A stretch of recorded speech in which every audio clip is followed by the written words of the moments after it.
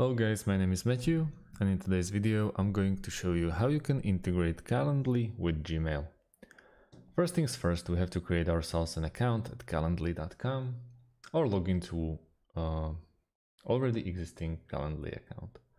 Once we're at our workspace here, we want to go to integrations and we want to check if we can find Gmail between already implemented integrations.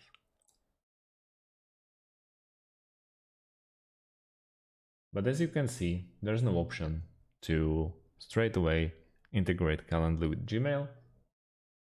So we're going to need the help of third-party app.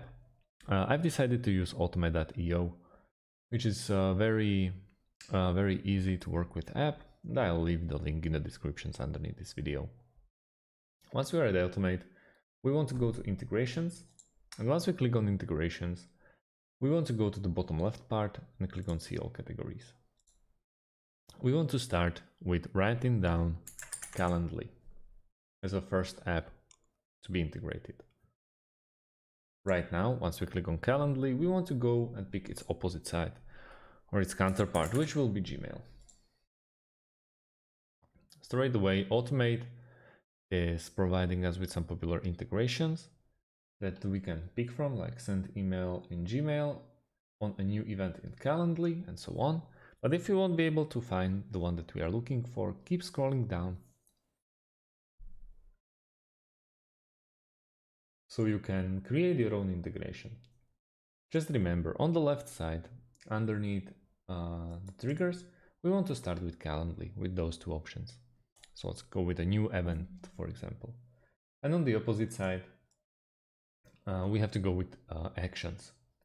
So there's a tons of actions from Gmail to pick from. So let's go with send email. All we have to do now is click on try it now button so we can register or log into our existing account. And that's about it. We can also use Zapier.com, which is a very similar app to Automate, but some people prefer Automate, some people prefer Zapier. So I'm going to show you the both, uh, both apps.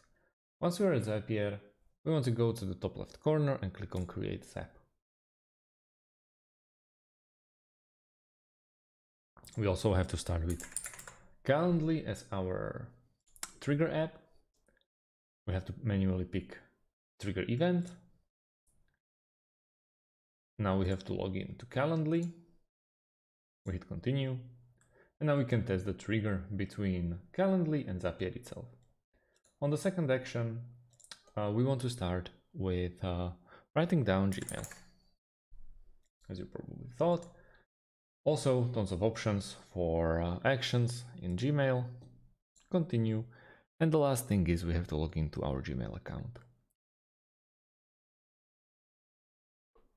So that's about it. Thanks for watching and see you on the next video.